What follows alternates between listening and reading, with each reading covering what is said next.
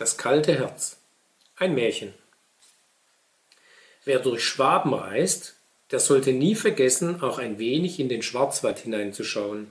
Nicht der Bäume wegen, obgleich man nicht überall solch unermessliche Menge herrlich aufgeschlossener Tannen findet, sondern wegen der Leute, die sich von den anderen Menschen ringsumher merkwürdig unterscheiden.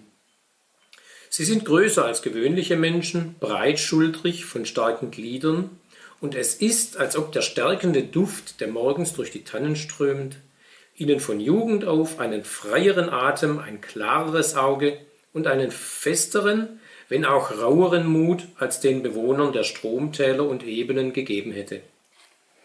Hallo Jörg, das ist aber nett, dass du mir was vorliest zum Weltvorlesetag. Naja, und Kalte Herz ist ja eins von den besten deutschen Märchen. Mhm. Hm?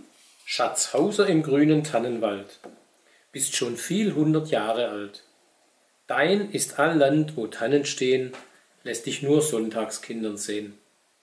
Mhm. Ja, das ist der Spruch, wie der Peter Munks Glasmännlein herruft. Mhm.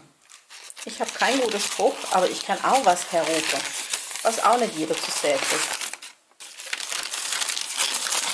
Ja. Was glaubst du, was das ist? Was ist das? Ein Schwarzwälder Berliner? Ja, ein Berliner Schwarzwälder Art. Vom Bäckermeister meines Vertrauens. Ja, Respekt. Mhm, ich glaube, der auch Konditor. der weiß, was er tut.